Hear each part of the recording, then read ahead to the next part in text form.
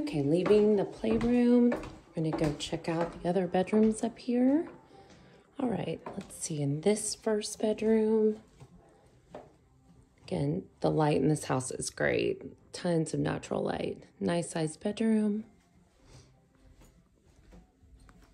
With an ensuite bathroom, beautiful cabinet, and we've got a shower tub combination. And then on the other side is a walk-in closet. So tons of storage in this home. Go out of this bedroom. We'll walk across and here's another bedroom. They've carried through the same nice Berber carpet in here. And this bedroom overlooks the upper patio, so we'll walk out there in a bit. We've got a nice view. And just to scan. Nice size. And this one has an ensuite bathroom as well. So another shower tub combination. There's the vanity. And then a walk-in closet. All the closets are, like I said, really big with tons of great storage. Right off of here, I'm sure this is hall linen closet. Yep. And this is another view of the entryway when looking at the light fixture and the beautiful front staircase. Another look at the detail of the trim. This is a great area in between those two bedrooms that we saw, and then we'll go over there to the other bedroom. It's another great hangout space. Got room for a large sectional, big TV, and then a great built-in bar area with a beverage, fridge, and some more cabinets.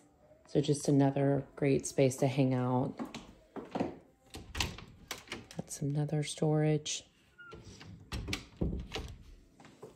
Got room for a popcorn machine, another little table. And then this is how you get to the upper balcony. So I'll show you this so we can see the beautiful view up here.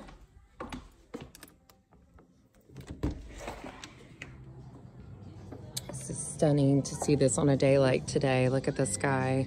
So yeah, they've got an awesome, you know, room for an outdoor sectional. Overlooking the fire pit, the beautiful yard. Great place to sit out up here. They've got an umbrella, but yeah, this is beautiful day to see this view. All right, back. We'll go check out the other bedroom. Again, here we'll scan. Tons of room to host lots of family and friends.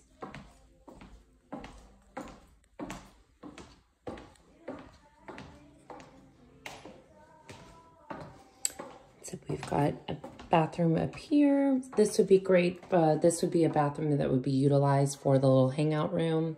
So you've got the shower and tub combination. then you've got your vanity, beautiful tile floor, and this leads into the other bedroom. Large closet, walk-in closet. And here's a view of this guest bedroom.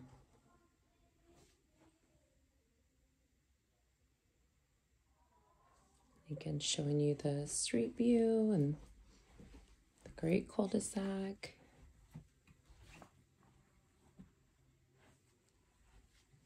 And that concludes the upstairs.